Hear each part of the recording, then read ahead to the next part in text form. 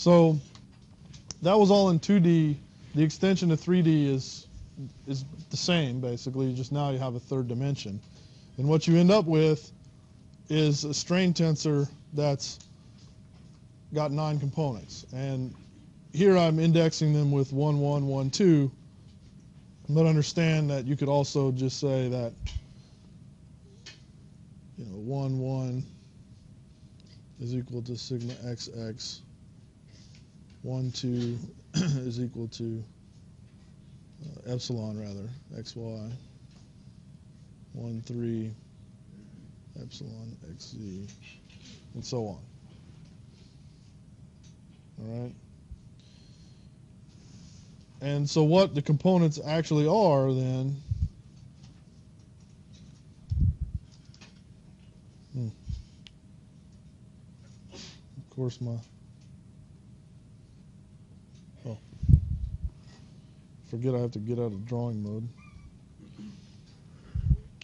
so what the what the components actually are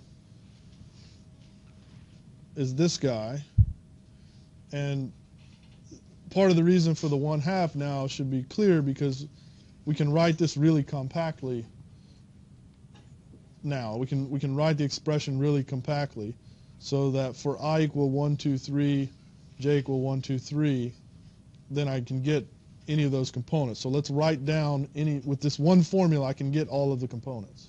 That's what I'm trying to say. So let's, let's choose one and write down what the components would be.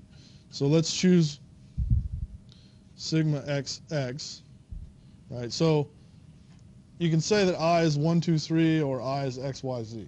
j is 1, 2, 3, j is x, y, z, okay? So the x, x component, according to this formula, would be 1 half partial u x partial x plus partial u x partial x. Right? So then I have 2 partial u partial x, and then I cancel that with a 1 half, and I get partial u partial x. Right? And it would be the same for sigma yy or sigma zz, and then all the off diagonal terms you would get the shear stress.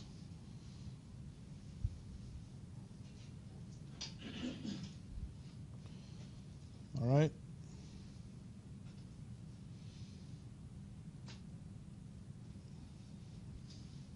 Everybody okay with the mathematical definition of strain? There is a caveat. This is a mathematical definition of small strain. What is the definition of small strain? The magnitude of the gradient of displacement is much, much less than 1. Right. If you have very large deformations, then you have to go to a different formulation that's more complex, that includes nonlinear. You remember those nonlinear terms we canceled out because we made that assumption. We have to leave those around in the what's called finite deformation strain theory. That's really a graduate course. Okay. So we have a mathematical definition of small strain.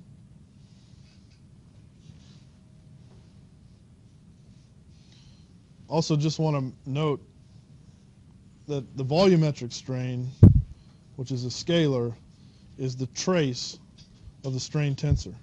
So when we talked about linear algebra, I don't think we talked about trace. But the trace of any matrix is the sum of the diagonals, right?